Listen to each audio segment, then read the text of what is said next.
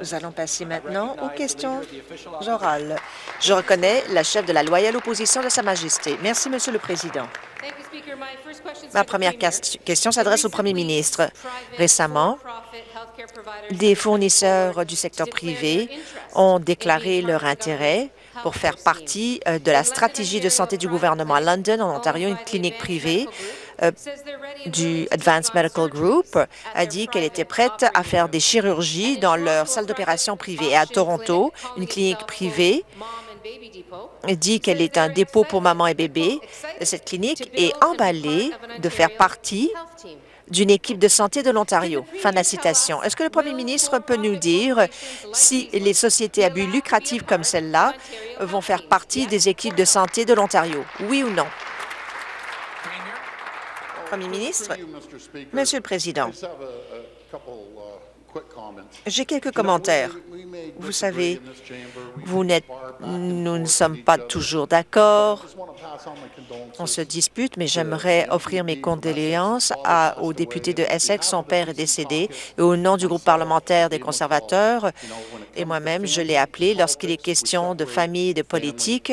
Nous faisons une distinction et ensuite on revient à la Chambre. Mais j'aimerais offrir mes condoléances et j'aimerais lui offrir toutes mes condoléances.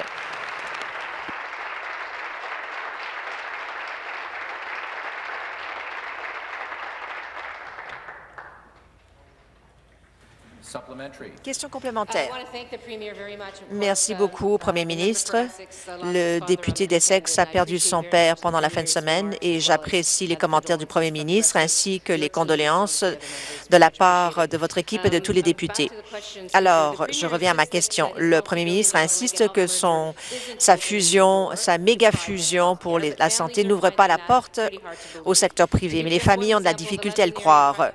La clinique privée de London ne veut non seulement pas avoir des soins lucratifs, mais a été hôte d'un événement avec le premier ministre pendant la campagne électorale. Alors, encore une fois, ma question est la suivante. Est-ce que les sociétés privées telles que celle-là feront partie des équipes de l'Ontario, oui ou non?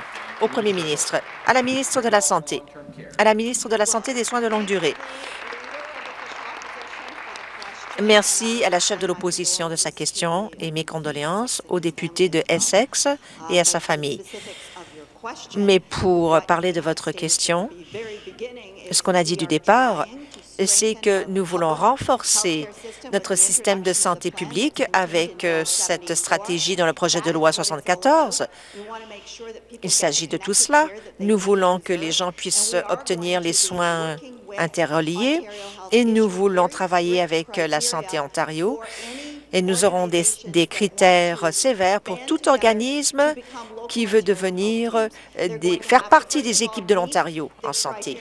Il va falloir être admissible, il faudra gérer les fonds alloués, il faudra maintenir la qualité des soins et il faudra continuer à faire participer les patients et les familles dans la conception des soins et dans la prestation des soins. Intervention du président. Dernière supplémentaire. Dernière complémentaire. Ce que je voulais entendre de la ministre, euh, c'est qu'il pouvait faire ce travail de manière à n'impliquer que des organismes à but non lucratif. Mais voici ce que perçoivent les familles. Un, un premier ministre qui euh, a promis aucune mise à pied, mais qui a déjà mis à pied des infirmières.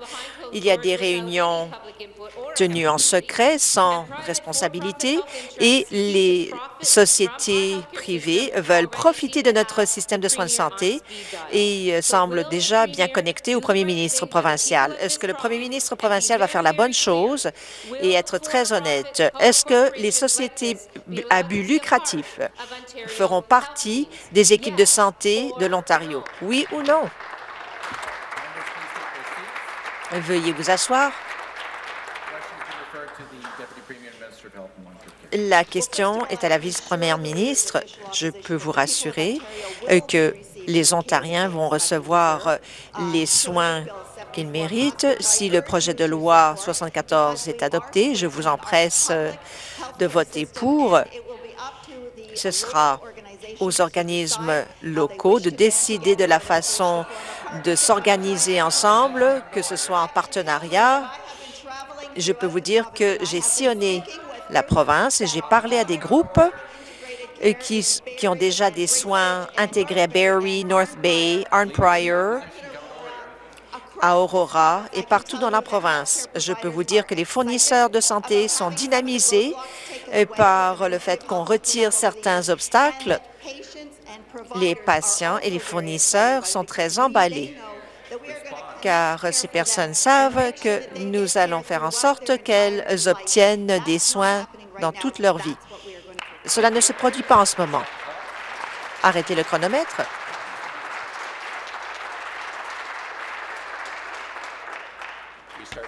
Reprenez le chronomètre. Prochaine question, la chef de la loyale opposition de Sa Majesté. Ma question s'adresse au premier ministre. C'est une question qui porte sur l'intégrité de notre processus électoral et les commentaires de ce premier ministre provincial. La semaine dernière, il a soulevé des allégations. Il a même menacé d'appeler la police à propos des euh, collectes de fonds illégales de mon parti, les néo-démocrates de Scotia de ce côté-ci ont des préoccupations graves à propos des euh, collectes de fonds organisées par les conservateurs. Est-ce que le premier ministre va être d'accord pour dire que ce genre d'allégations mérite des enquêtes sérieuses? Au premier ministre, Monsieur le Président, nous faisons des collectes de fonds partout dans la province. Récemment, nous étions à Ottawa. Nous sommes composés de personnes normales qui vont à des dîners de spaghettis à 25 contrairement à la chef de l'opposition qui euh, demande 800 dollars. Et si vous allez aux événements de levée de fonds, vous obtenez une récompense. Vous, vous pouvez rencontrer la chef de l'opposition. Nous donnons des récompenses à toutes les personnes en diminuant leur électricité, en diminuant leur impôt, voilà la récompense que nous, nous offrons aux Ontariens. Veuillez vous asseoir. Question complémentaire. Eh bien, le premier ministre va être choqué lorsqu'il va se rendre compte qu'il ne voulait pas être euh, récompensé par la privatisation euh, de leur système de santé. Si les Ontariens euh, veulent faire confiance en leur démocratie, les Ontariens veulent savoir que le premier ministre se conforme aux règles. La semaine dernière, il a fait une allégation grave, il l'a répété à la Chambre et je crois qu'il est important de clarifier les choses. Je suis confiante que, que des enquêtes vont vraiment nous expliquer la situation. C'est la raison pour laquelle je demande à tous les partis de demander à Élection Ontario d'enquêter les levées de fonds. J'ai une lettre que j'ai envoyée au bureau du premier ministre. Je vais demander aux pages de lui renvoyer. Ma question est de savoir, est-ce que le premier ministre va ajouter son nom à cette demande au directeur des élections, au premier ministre? Monsieur le Président, nos donateurs viennent de la base. Euh, ce sont des dons de 5, 10, 15 dollars. Monsieur le Président, je suis très fier d'avoir envoyé une lettre il y a quelques semaines. C'était une lettre de deux, trois lignes. Et devinez quoi? Nous avons obtenu 100 000 grâce à des dons de 5, 10 et 15 Ce sont des dons qui proviennent de la base. Nous représentons la population. Dernière complémentaire. Monsieur le Président, le premier ministre a fait une allégation grave à propos des levées de fonds et nous devons clarifier la situation pour euh, s'assurer de bien enquêter. Mais le premier ministre semble réticent, peut-être parce qu'il y a des préoccupations à propos de leur levée de fonds. Les lobbyistes vont perdre l'accès si des billets ne sont pas payés. Les médias ne sont pas invités euh, à ces euh, soupers à 50 Le premier ministre insiste sur le fait qu'il n'a rien à cacher. Alors pourquoi est-ce qu'il ne veut pas se joindre à nous pour euh, une enquête exhaustive par Élection Ontario? Veuillez vous asseoir. Au premier ministre, Monsieur le Président,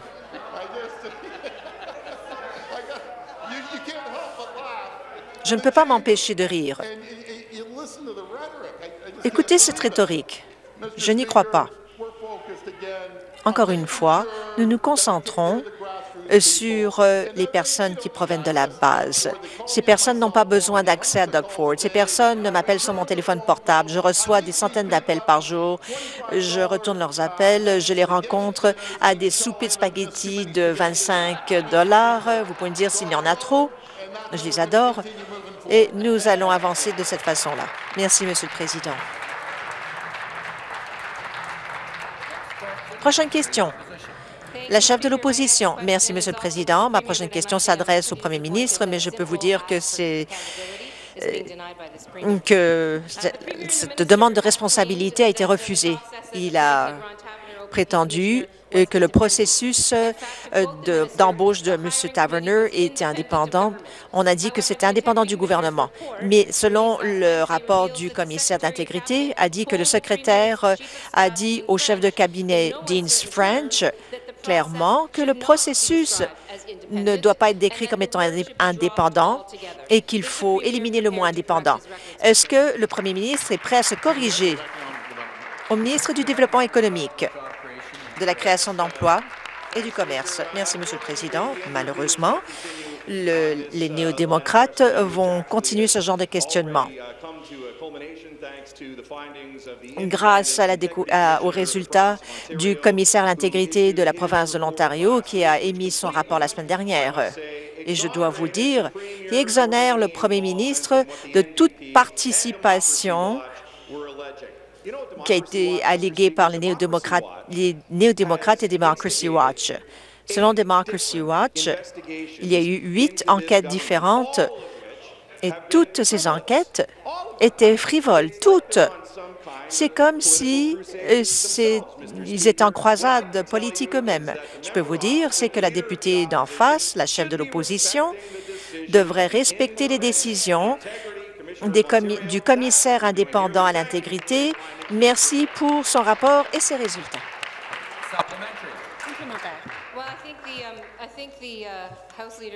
Je crois que le leader gouvernemental devrait se rappeler qu'on a aussi demandé une enquête publique entière.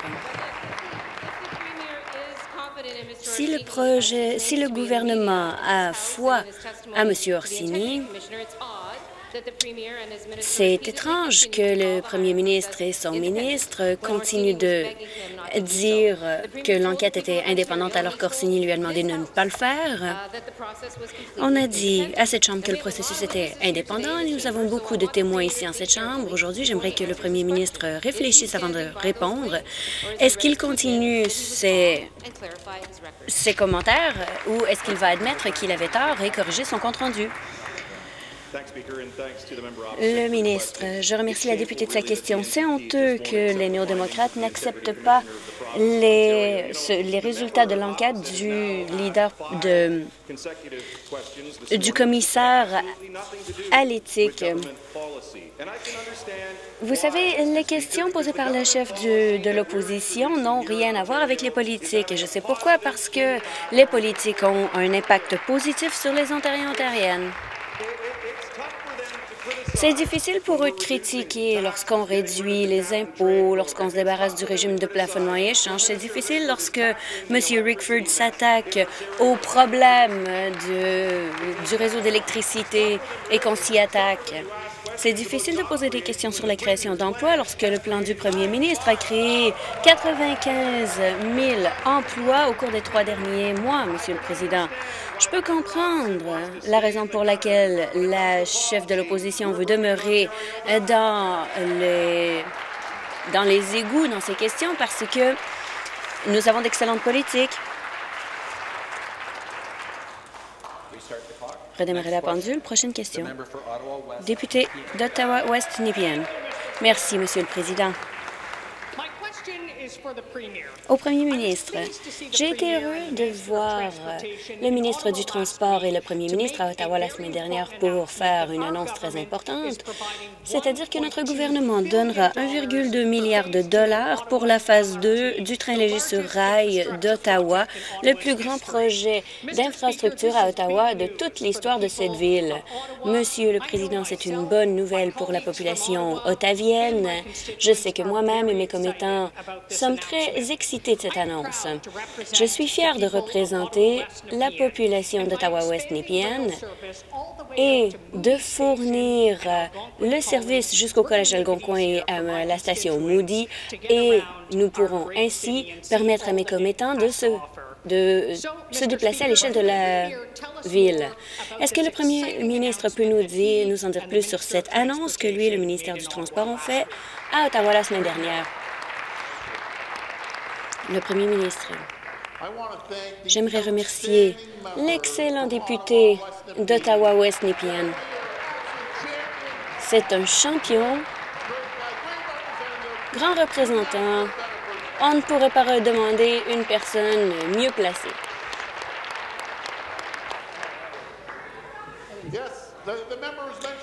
Le député a mentionné que nous avons visité Ottawa. Nous avons rencontré le maire Watson, qui est un maire incroyable. Il fait un excellent travail à Ottawa. Et nous sommes en partenariat avec la ville d'Ottawa. Nous investissons 1,2 milliard de dollars dans la phase 2 du TRL. Il y avait des représentants d'Ottawa, le ministre du Transport, et je peux vous dire que nous construisons 44 euh, kilomètres de rails.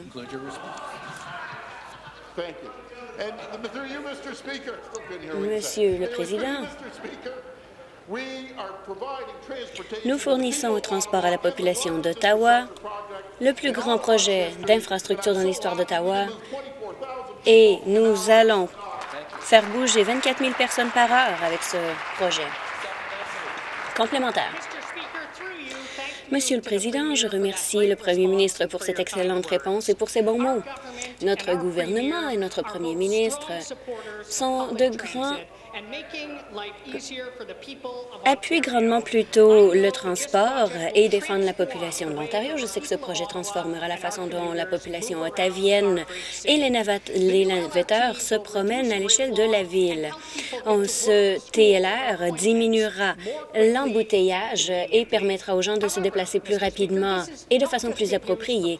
Toutefois, ce n'est pas seulement une bonne nouvelle pour les utilisateurs du transport en commun, mais aussi pour les gens qui conduisent, parce que cela diminuera les embouteillages sur les routes, libérant le temps passé au travail afin que les gens puissent être à la maison avec leurs amis et leurs familles. Est-ce que le premier ministre peut nous parler de la phase 2 du TLR d'Ottawa? Le premier ministre, ce projet fera en sorte qu'il sera beaucoup plus facile pour euh, les infirmières de se rendre euh, aux hôpitaux d'Ottawa. Ce sera plus facile pour les étudiants d'aller au collège algonquin. Mes amis, nous allons faire bouger 24 000 personnes par heure et la meilleure nouvelle de toutes, c'est qu'on crée 1000 bons emplois bien rémunérés. Prochaine question, député de Davenport. Merci à la ministre de l'Éducation, le plan du gouvernement de demander aux élèves du secondaire de prendre l'équivalent, de faire l'équivalent d'une session de cours en ligne est rejeté par plusieurs spécialistes et plusieurs élèves ne seront pas en mesure de compléter ces cours parce qu'ils n'ont pas les ressources nécessaires. Nous voulons assurer la qualité de l'expérience d'éducation. Est-ce que la ministre peut nous dire que d'envoyer 444 heures de cours face à face vers l'Internet aura un avantage pour les élèves? La ministre de l'Éducation. Merci pour la question. Je suis heureuse de parler de la façon dont on innove en éducation en Ontario. Les familles euh, de nos députés ici, les, les, enseignants et tout le monde qui a à cœur de régler le gâchis laissé par les libéraux. Parlons de l'apprentissage en ligne. Vous savez, il y a des conseils scolaires à l'échelle de la province qui mènent par l'exemple et leurs élèves acceptent les cours en ligne, peu importe que ce soit dans les régions rurales ou urbaines.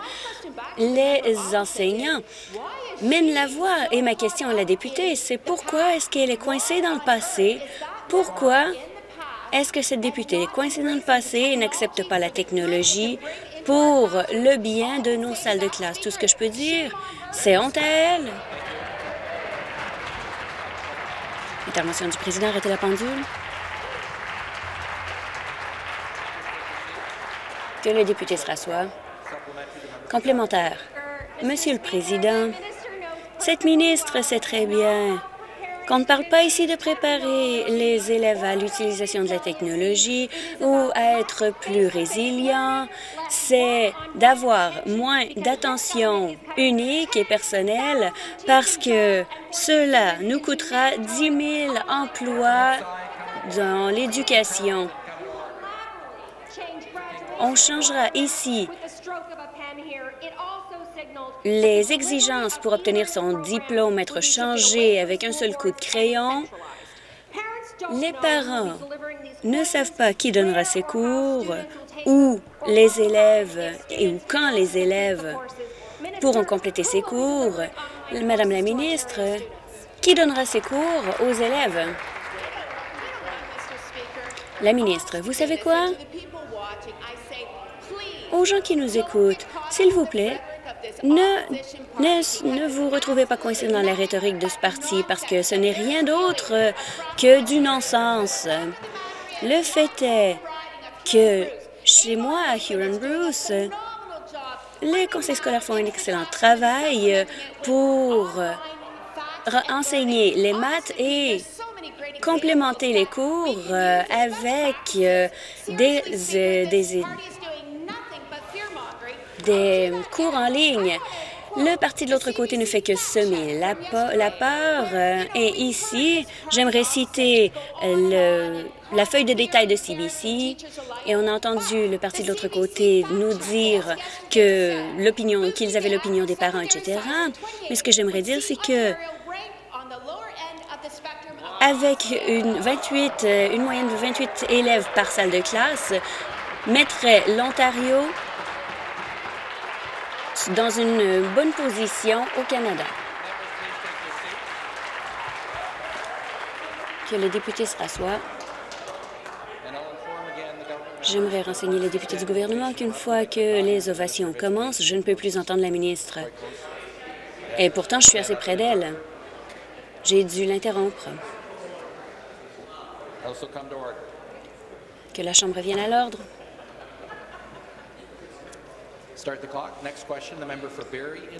Député de Barry-Innisville, nouvelle question.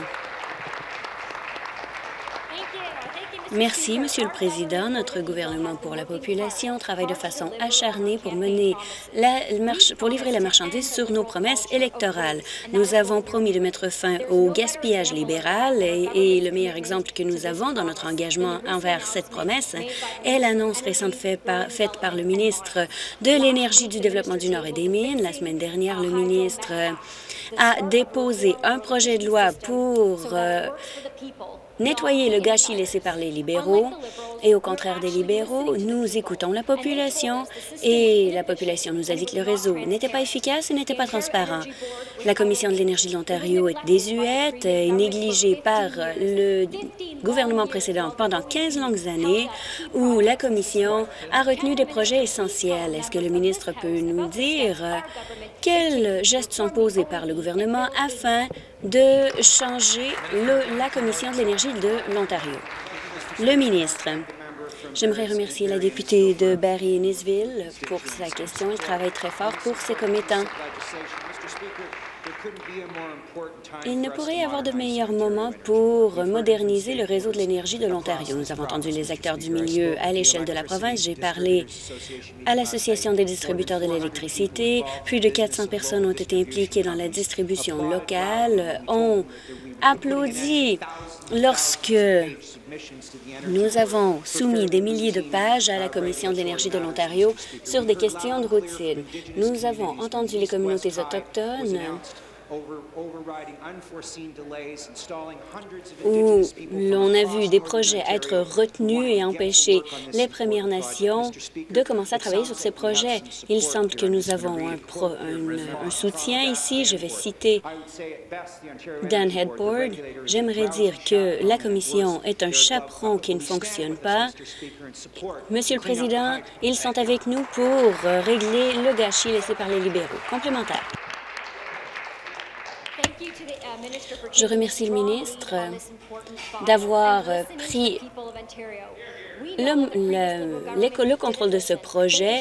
Le gouvernement précédent n'écoutait pas. Ils ont détruit le réseau de l'électricité. Ils avaient des politiques idéologiques qui ont forcé les entreprises et les familles à payer beaucoup plus sur leurs factures d'électricité. Nous avons mis en place des mesures essentielles pour changer ces politiques qui ne fonctionnaient pas en faveur d'initiatives qui favorisent un marché de l'énergie à faible coût.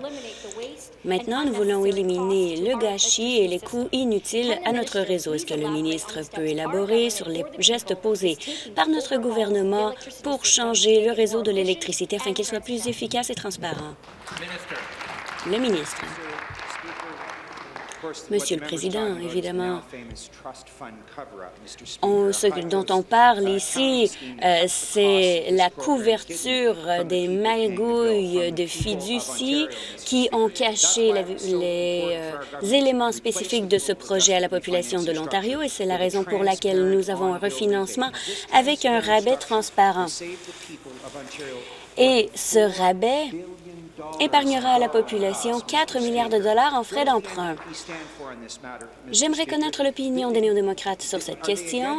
Est-ce qu'ils sont contre la transparence, contre la, la modernisation de la Commission de l'énergie de l'Ontario? Est-ce qu'ils sont contre les programmes de conservation qui se concentrent sur les familles vulnérables, les collectivités autochtones et les aînés? Il est temps pour les néo-démocrates de nous appuyer dans cette loi. Nous l'entendons des acteurs du milieu. Il est temps d'appuyer ce projet de loi. Arrêtez la pendule.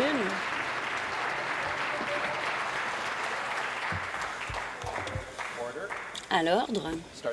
Redémarrer la pendule. Prochaine question, député de Milton Mountain. Merci. Question à la ministre des Services à l'enfance et des services sociaux communautaires. Le nouveau programme de l'autisme sera mis en place la semaine prochaine et on continue de voir des mises à pied. Les ressources sont très importantes dans le nord de l'Ontario, mais on a vu 19 membres du personnel perdre leur emploi. Ce nouveau programme désastreux empire la situation. Est-ce que la ministre a anticipé les mises à pied dans les collectivités du Nord lorsqu'elle a créé ce programme?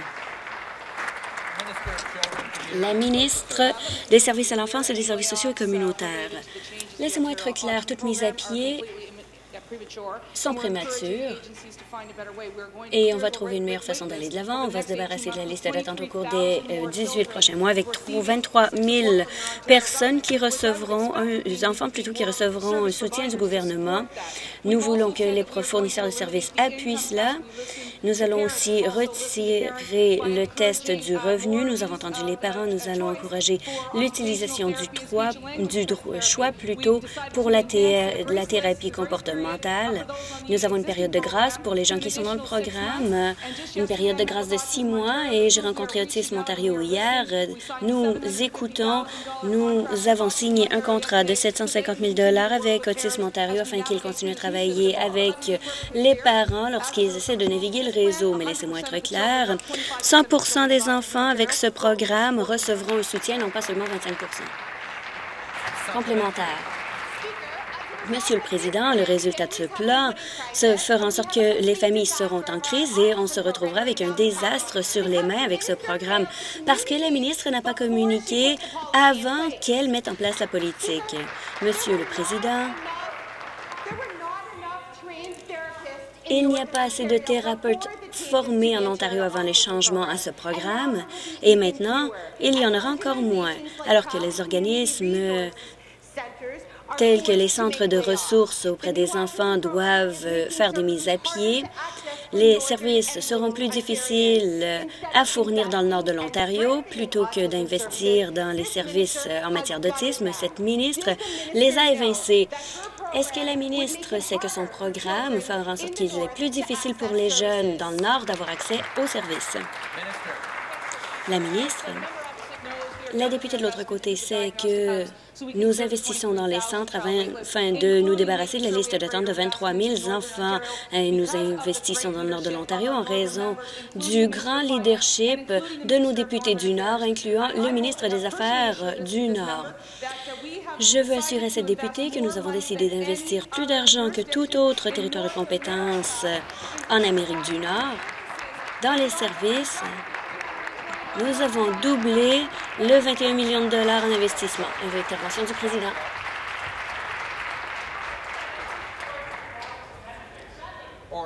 À l'ordre. Redémarrer la pendule. Prochaine question, député de Guelph. Au premier ministre, en janvier, en Ontario, la Cour suprême de l'Ontario a décidé que les lois en protection animale ont devait changer.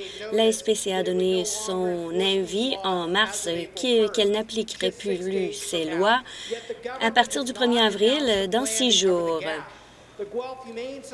La Société humanitaire de Guelph veut continuer l'application de la loi jusqu'à ce qu'une solution à long terme soit mise en place. Est-ce que le gouvernement s'engage à protéger les animaux en permettant aux sociétés humaines de d'appliquer les lois de protection animale jusqu'à ce qu'un plan soit en place.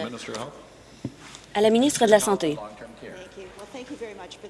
Je remercie le député de sa question. La protection animale sera toujours très importante pour notre gouvernement et nous nous engageons à assurer que le bien-être animal continue dans la province. Le gouvernement et la SPCA travaillent ensemble pour protéger les animaux en Ontario.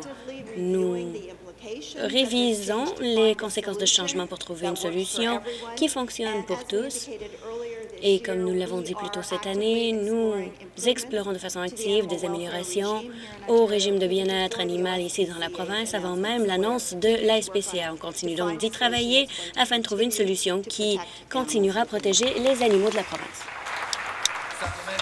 Complémentaire. Monsieur le Président, il ne nous reste plus beaucoup de temps. Il reste seulement six jours alors qu'on n'aura pas de, régime en place.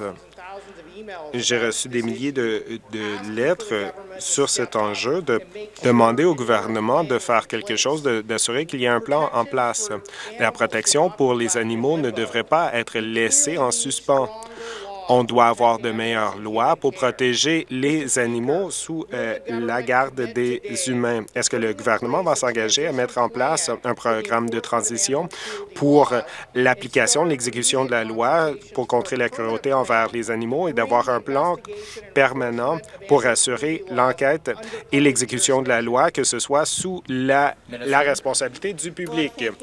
À la ministre. Merci aux députés de votre intérêt et de votre engagement envers la protection des animaux. C'est quelque chose qu'on partage. On veut nous assurer qu'il y a une solution en place pour tous les animaux qui va fonctionner pour tout le monde dans la province. Nous savons qu'il y a peu de temps pour agir et nous agissons maintenant et que nous allons avoir une solution à court terme, dans un court terme. Député de Flamborough, Glenbrook. Merci, Monsieur le Président. Ma question est euh, à la ministre des Services à l'enfance et des services sociaux et communautaires. Le Toronto Star avait un article et le, la manchette était tout à fait perturbante qu'une enfant de 14 ans était une femme mature, selon l'avocat, mais je trouvais que c'était perturbant de, lire une telle manchette parce que je suis sûr que ce n'est pas une position qui est tenue par notre gouvernement ou par le Parti progressiste conservateur. Est-ce que la ministre peut nous informer au sujet de ce dossier? Ministre des Services à l'enfance des services sociaux et communautaires. Merci beaucoup de cette question très importante. Alors que j'ai lu cet article, j'étais euh, j'ai eu honte que quelqu'un qui pourrait représenter une société d'aide aux enfants, qui pourrait dire une telle chose. Voici ce que j'ai fait. Moi, j'ai une fille de 14 ans. Elle, c'est une enfant. Tout enfant de, sous la tutelle de, de, la province est un enfant qu'on doit protéger. J'ai parler à ma sous-ministre et de dire que la position de cet avocat n'est pas l'opinion de notre gouvernement ou de nous en tant que Parti progressiste conservateur. Ce n'est pas la position de notre premier ministre ou de notre Conseil des ministres. Et comme je le comprends, cet avocat n'agit plus, n'est plus euh, employé par la Société d'aide des enfants. Complémentaire. Merci encore une fois à la ministre. Quand j'ai lu cet article, j'étais confiante que notre gouvernement n'accepterait pas cette situation. Malheureusement, on se rappelle ici dans cette Chambre des échecs de la Société d'aide aux enfants trop souvent. Le mois l'automne dernier, le coroner a déposé un rapport sur les enfants sous la tutelle du, du gouvernement euh, de la province et que les enfants autochtones sont surreprésentés lorsqu'il s'agit des enfants sous la tutelle. et c'est inacceptable? Qu'est-ce que la ministre est-ce que la ministre peut nous informer à savoir ce qu'on fait pour améliorer le système? Le ministre, c'est un rapport qu'on a, euh, qu'on a abordé comme question plusieurs fois dans cette Chambre. C'est très troublant où les jeunes filles sous la tutelle de la province ont été ont fait partie de traite de, la personne. Les normes qui devraient être en place n'ont pas été satisfaites par notre société d'aide des enfants. C'est pour cette raison qu'on va assurer de déposer un projet de loi pour que ces sociétés d'aide euh, aient des critères plus élevés. On doit les protéger, on ne doit pas tout simplement les ignorer. Et nous allons encourager qu'il y ait plus de consultations avec les enfants autochtones, ainsi que ceux qui sont noirs et ceux qui sont sous la tutelle et la garde avec trois tables rondes pour reconnaître que ces enfants sont surreprésentés. Et aussi, on aura un, un intervenant auprès des enfants sous mon ministère. Et si vous avez comme mandat de protéger un enfant, je m'attends à ce que vous protégez les enfants. Nouvelle question, député de London Fanshawe. Merci. Ma question est, au, est, à la ministre de la Santé et des Soins de longue durée. Aujourd'hui, un sondage a dévoilé que 80% des travailleurs de soins de longue durée font face à la violence, soit quotidienne ou hebdomadaire. C'est très perturbant comme statistique. Par contre, malheureusement, on a trop souvent entendu ces histoires au cours des ans. La violence est à la suite de le, du manque de dotation de personnel et d'une augmentation des besoins croissants des résidents qui viennent avec le vieillissement de la population. Qu'est-ce que la ministre est en train de faire pour assurer qu'on ait suffisamment de personnel dans ces centres pour que ce soit quelque chose du passé, ces situations de violence? Ministre de la Santé et des Soins de longue durée, merci de la question. Je sais que c'est une situation qui existe dans la province de l'Ontario, mais on va être très clair. On a une politique de zéro tolérance lorsqu'il s'agit de violence de tout type dans le milieu de travail et la santé et sécurité de tous les Ontariens est une priorité pour nous en tant que gouvernement. Toute personne qui travaille dans un centre de un foyer de soins de longue durée devrait pouvoir aller au travail sans se sentir en danger ou sans sentir d'être la victime de toute personne. Mais par contre, il y a des préoccupations. C'est le résultat des niveaux de, croissants de démence des résidents, des, des résidents de centres de soins de longue durée. Nous sommes en train d'examiner la question et de tenter de trouver des solutions et avec des solutions en démence. Il y a eu beaucoup de propositions au sein du ministère de la Santé et de faire en sorte que les résidents se sentent plus euh, confortables et de ressentir moins de stress dans ces situations et moins euh, probables à agir de manière violente. Complémentaire, je sais que le gouvernement a annoncé de créer plus de lits, mais sans appuyer ces lits avec plus de personnel, on ne pourra pas aider de prévenir euh, ces gestes de violence euh, entre les résidents ou avec le personnel. Donc, le sondage d'aujourd'hui sur les travailleurs et la violence en milieu de travail est le deuxième rapport depuis janvier de mettre l'accent sur le manque de dotation de personnel et le manque de ressources dans les foyers de soins de, de, de longue durée. On doit agir maintenant. Le gouvernement doit créer une stratégie de soins de longue durée qui prend en compte la population vieillissante et prend en compte aussi une ressource, une politique sur les ressources humaines. Est-ce que le gouvernement va s'engager à mettre en œuvre une politique pour s'attaquer à ce problème de violence et d'appuyer les intervenants de première ligne? Il y a plusieurs actions qui sont en cours et on doit en faire encore plus. Nous nous penchons déjà sur les problèmes de euh, ressources humaines dans les foyers de soins de longue durée pour pouvoir répondre à la demande croissante. Alors que nous ouvrons euh, plus de lits, nous sommes à près de la moitié de notre engagement de nous rendre à 15 000 nouveaux espaces de soins de longue durée.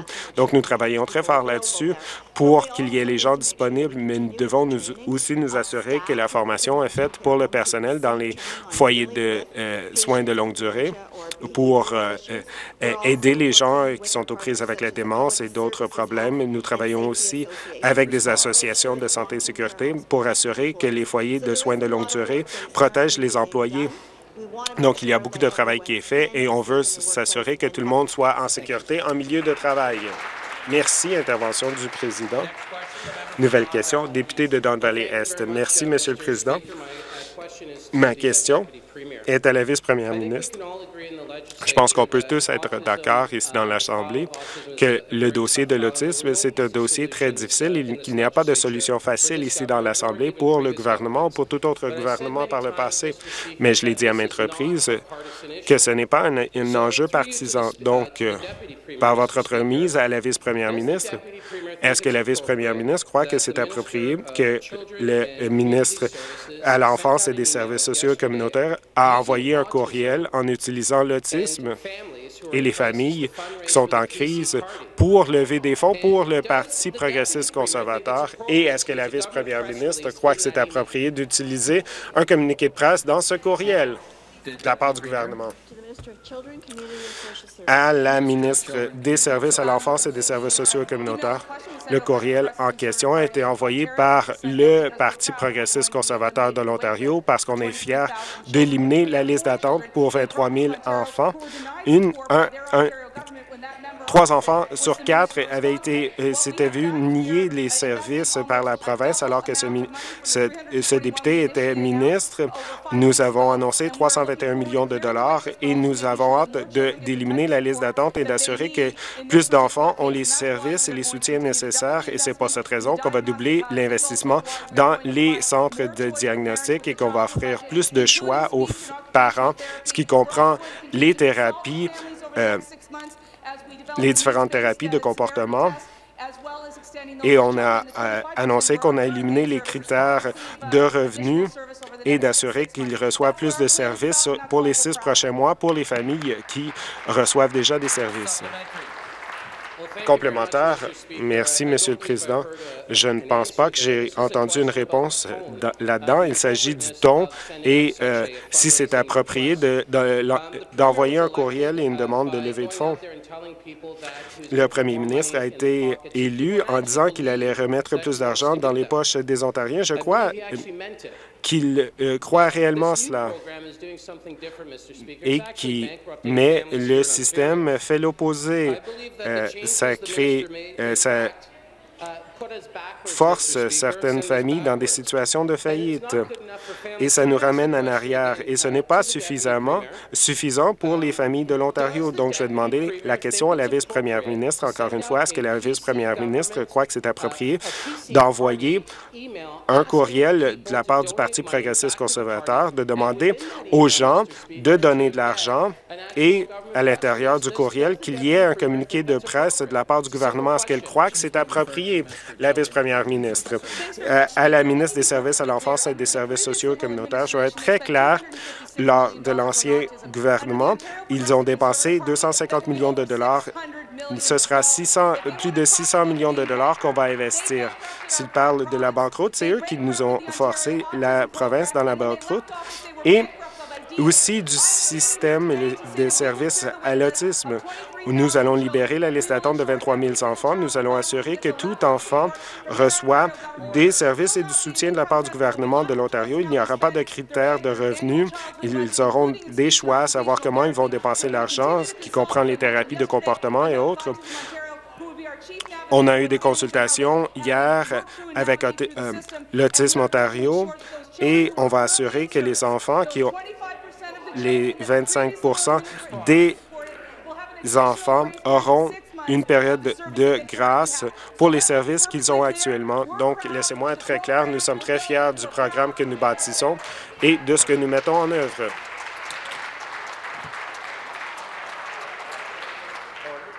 Rappel à l'ordre. Député de Markham-Stouffville. Merci, Monsieur le Président. Notre gouvernement, comme vous le savez, on a été élu sur une promesse de défendre les droits des contribuables. Nous avons promis, durant la, dernière élection, de remettre plus d'argent dans les poches des euh, familles. Et c'est pour cette raison que, pour ma, question au ministre des Finances, après les 15 dernières années du gouvernement libéral, des politiques de dépenser et d'imposer plus de taxes, qui était quelque chose qui nuisait aux Ontariens, le projet de loi pour respecter les contribuables. Si adopté, ça va permettre aux contribuables d'avoir une voix égale sur la, société d'évaluation foncière. Le projet de loi va permettre euh, de ramener les contribuables à la table et je voudrais savoir si le ministre des Finances pourrait euh, apporter ses commentaires sur l'importance de cette initiative. Merci, ministre des Finances. Euh, merci au député de Markham-Stouffville pour son leadership sur ce dossier. De respecter les les contribuables, ce projet de loi va permettre que le contribuable a une plus grande voix, se fait entendre lorsqu'il s'agit des impôts fonciers et dans la province de l'Ontario d'aller à quatre, représentants à sept. Sur le euh, conseil d'administration et le projet de loi, si adopté, va assurer une représentation égale entre les intérêts municipaux et les intérêts des contribuables. Le projet de loi démontre justement le type d'initiative qu'on doit avoir pour rétablir le respect envers les contribuables de l'Ontario. Nous avons hâte de passer au débat sur le projet de loi dans les semaines à venir et de défendre les droits des travailleurs dans la province de l'Ontario. Complémentaire. Merci, Monsieur le Président. Je voudrais remercier le ministre des Finances de sa réponse. C'est très bien de voir son soutien envers ce projet de loi et, je suis ravi qu'alors que le projet de loi passera au débat, on va avoir le soutien de la part de tous les députés ici dans l'Assemblée parce que je pense que tout le monde est d'accord que les familles de l'Ontario méritent d'avoir mieux. J'espère qu'on va pouvoir tous travailler ensemble parce que les contribuables ont demandé ce changement. après 15 ans de, de la coalition libérale et néo-démocrate d'imposer plus de taxes, les contribuables de l'Ontario sont optimistes pour une fois qu'il y a un gouvernement qui se concentre pour remettre de l'argent dans leur poche et se concentre aussi sur le respect d'eux. Et je voudrais savoir, est-ce que le ministre pourrait nous donner plus d'informations à savoir comment cette initiative est importante pour les contribuables dans la province de l'Ontario? Ministre, après avoir ignoré les Ontariens pendant 15 ans, les libéraux ont laissé un bilan désastreux. Les libéraux, appuyés par les néo-démocrates, dépensaient 40 millions de dollars par jour de plus que ce qu'ils rapportaient. Il n'y avait pas de redevabilité dans leur politique d'imposer des dépenser.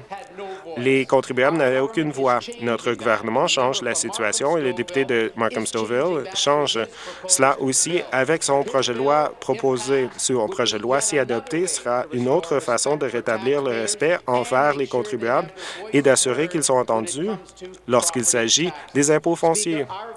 Notre gouvernement défend les droits des contribuables et nous avons hâte de passer au débat sur le projet de loi dans les semaines à venir. Merci, Monsieur le Président. Merci.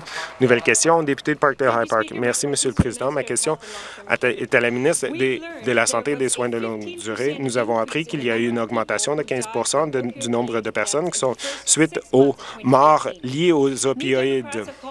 Les nouveaux démocrates ont demandé au gouvernement de déclarer un, état d'urgence en santé et d'utiliser plus de ressources pour combattre cette crise.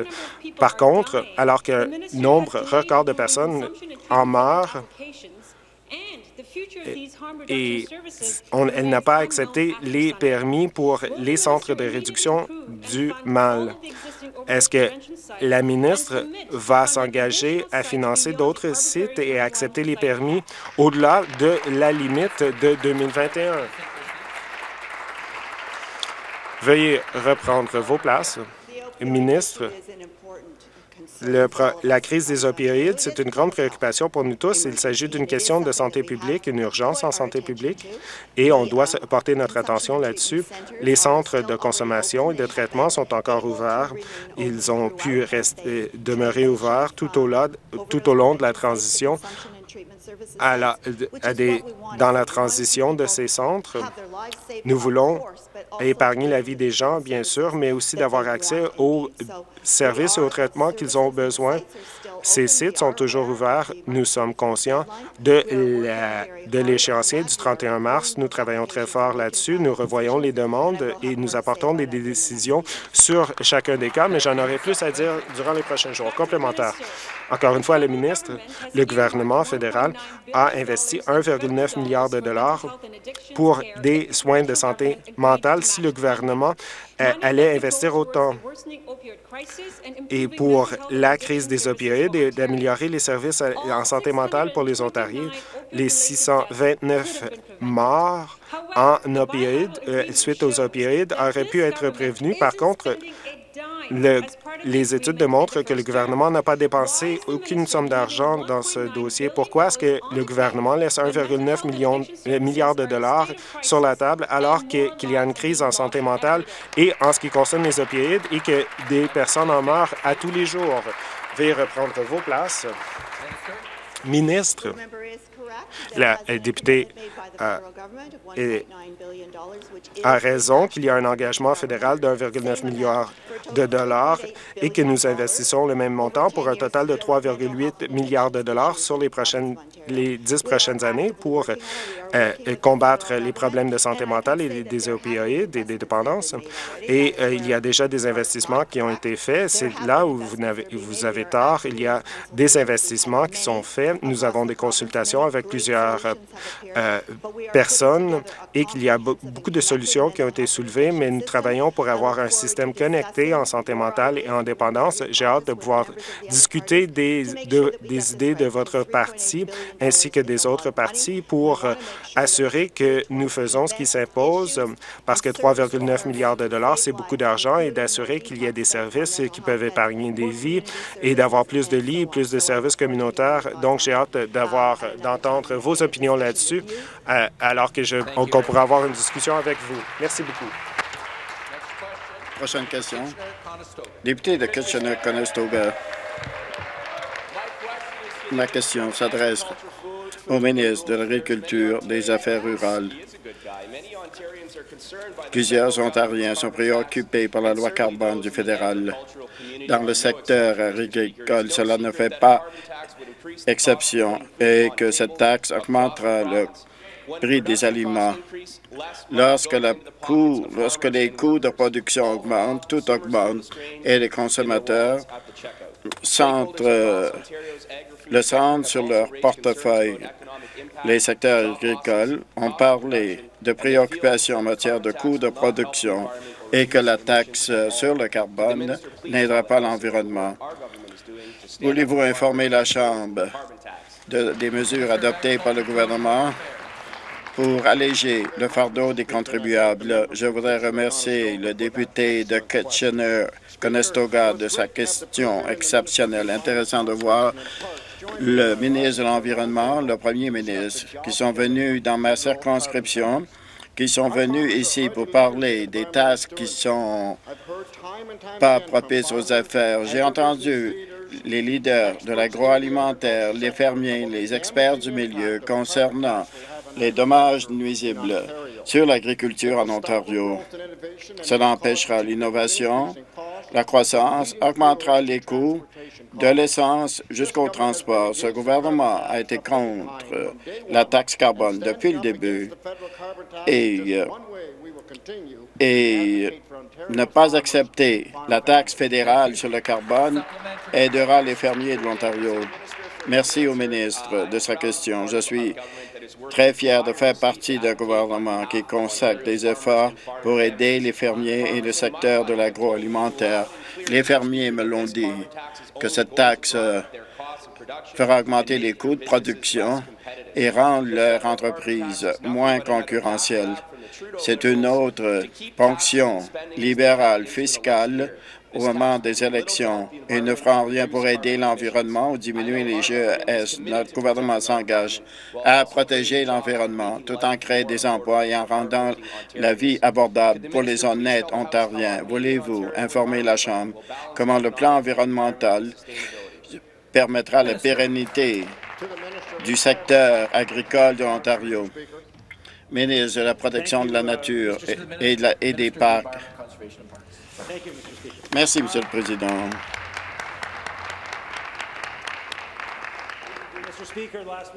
La semaine dernière, j'ai eu l'occasion d'être avec le ministre de l'Agriculture et le premier ministre à Oxford. Ça a été un moment extraordinaire. Monsieur le Président, les fermiers et les secteurs agroalimentaires sont inquiets par ce qui va se produire la semaine prochaine. On parle de 5 cents de plus sur le diesel et sur le carburant.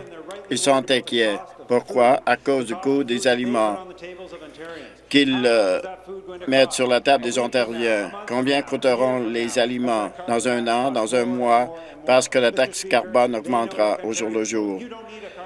On n'a pas besoin de taxe carbone pour lutter contre le réchauffement climatique et non pas punir les Ontariens et les fermiers. Et chaque jour, nous allons argumenter notre point. Intervention du président.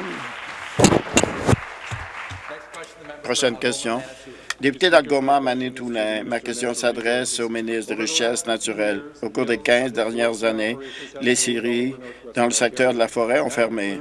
Cela comprend cinq scieries à Thunder Bay, deux à Dryden, deux à Kenora, un à Sioux-Lookout et un autre à Fort Francis. Ces fermetures, ces fermetures ont entraîné un désastre pour les familles les entreprises souhaitent utiliser les arbres pour créer des emplois à Fort Francis.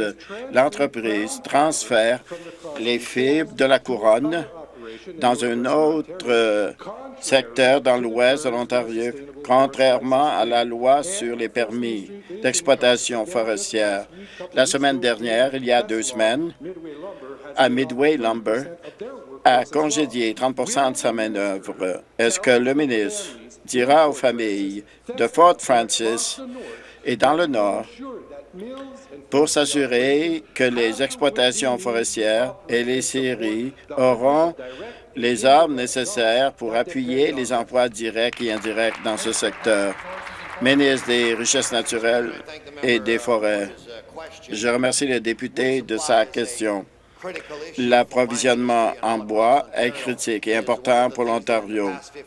Au cours des 15 dernières années, l'ancien gouvernement a perdu de vue de l'importance des forêts. Nous, on a fait le contraire. Nous avons tenu des tables rondes à Thunder Bay et ailleurs dans la province. Nous en aurons six ou sept. Je voudrais dire aux députés, l'enjeu de la fibre de bois pour la série de Fort Francis. Et je voudrais remercier mon collègue de Rainy River des mines. Merci pour le travail qu'il fait avec la ville de Fort Francis et de trouver une solution. La réalité est la suivante. On doit attendre tant qu'il n'y aura pas d'achat de la série avant d'intervenir qu'on règle le problème d'approvisionnement en bois Nous travaillons dans le Nord pour trouver une solution. S'il y avait une vente finalisée, nous allons ouvrir ces discussions complémentaires. La vente de, la série ne peut pas survenir sans l'approvisionnement en fibres. Et le député a dit en 2014 à Mme Wynne, les permis d'exploitation forestière est contrôlé par les anciens exploitants. Ils ne sont pas intéressés à exploiter la mais elle continue d'exploiter les forêts de la couronne. Ne pensez-vous pas que les permis d'exploitation de la forêt et que la fibre forestière devraient aller aux entreprises qui souhaitent euh, ouvrir à nouveau la série à Fort Francis? Vous contrôlez le bois sous les terres de la couronne. Vous avez l'obligation d'aider les Autochtones et de tenir des consultations, comme avec les libéraux. Le gouvernement ne fait rien, se tourne les pouces. Le ministre va-t-elle s'assurer que Fort Francis a les fibres forestières nécessaires pour la réouverture de leur scierie? Ministre, les enjeux et Fesselong, c'est une question de négociation entre les Tessalong et les Premières Nations. Ce n'est pas seulement l'approvisionnement en bois. Et à Fort Francis, il y a un approvisionnement en bois qui a été fait et le bois est utilisé dans d'autres séries. S'il y avait une transaction finalisée avec un futur exploitant de la série, on se pencherait à nouveau sur le réapprovisionnement en bois. Le gouvernement aimerait voir l'exploitation de séries qui ont été fermées sous l'ancien gouvernement. On voudrait qu'ils soient en exploitation de nouveau. Voilà pourquoi nous avons une nouvelle stratégie forestière, qu'il y ait un approvisionnement en bois adéquat. On avait une exploitation de, millions de fibres de bois et maintenant nous sommes à 15 millions. Si on avait une véritable stratégie forestière, on pourrait avoir de bons emplois dans le Grand Nord. C'est l'ancien gouvernement qui a permis la perte d'emplois. On met l'accent sur la création d'emplois dans le Nord. Merci.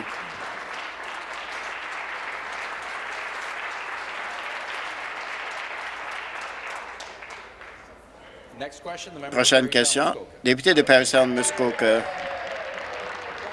Ma question s'adresse au ministre des Richesses naturelles et des Forêts. Le gouvernement pour la population comprend la situation et l'importance des forêts. Pendant 15 ans, l'ancien gouvernement a ignoré ou négligé un secteur important pour les régions rurales et le nord de l'Ontario. Le premier ministre et le ministre et le premier ministre ont travaillé en fort pour s'assurer qu'il y a un climat propice aux affaires et aux emplois dans le secteur forestier.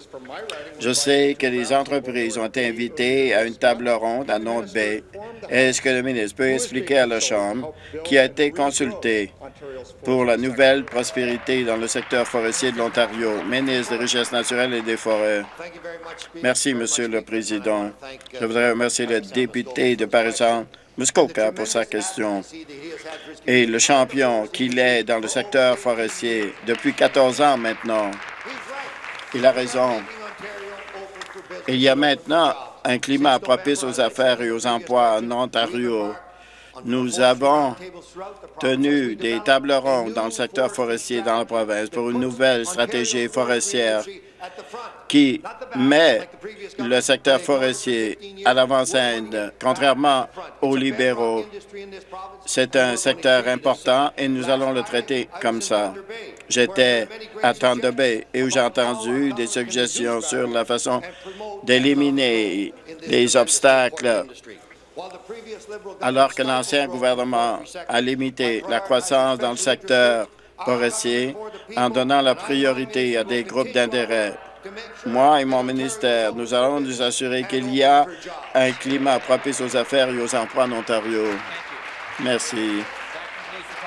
C'est tout le temps imparti pour les questions orales. Ministre, Nous voulons, nous, nous aurons une- un événement aujourd'hui, cet après-midi, un événement sur les cidreries de l'Ontario et son secteur. Nous avons mis aux voix différées sur la motion troisième lecture du projet de loi 68 concernant la sécurité communautaire et les services policiers. Convoquer les députés, sonnerie de cinq minutes.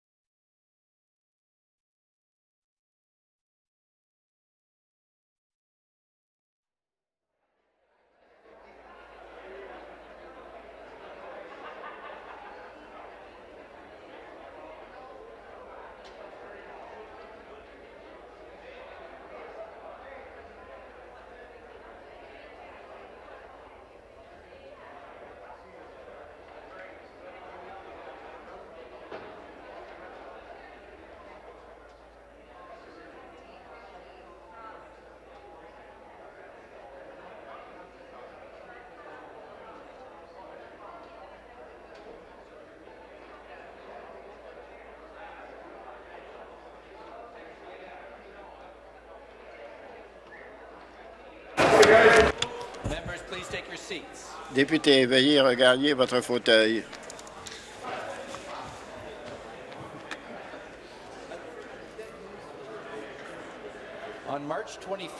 Le 25 mars,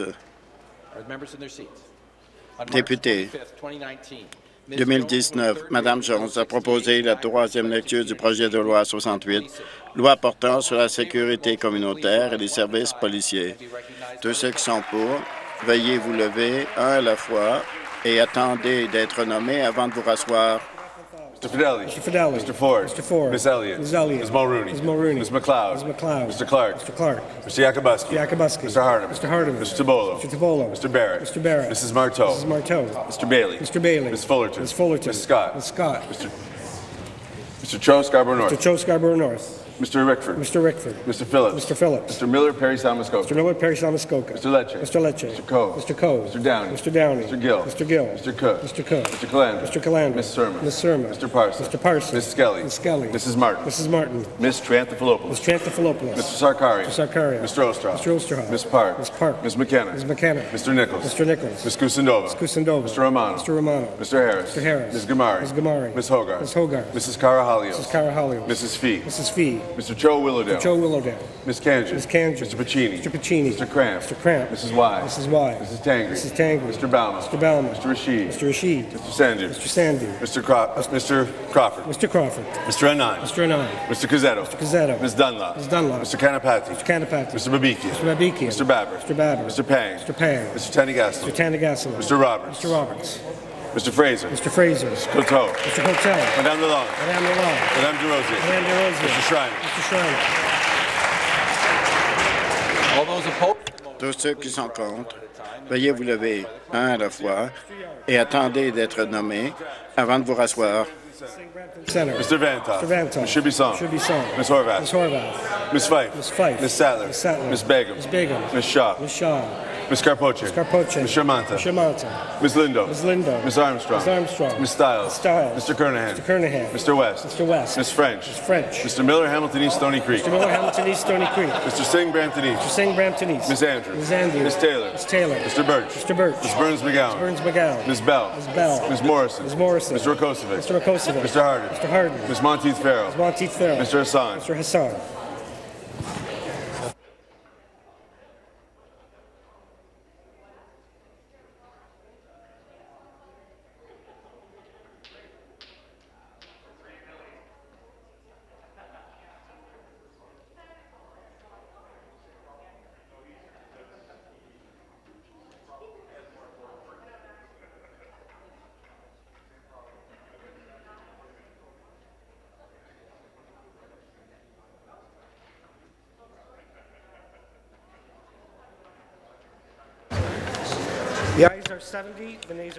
Les oui, 70 et les non, 31. Et les oui étant 70 et les non, 31, je déclare la motion adoptée. Le projet de loi est adopté et porte le nom tel qu'il apparaît dans la motion.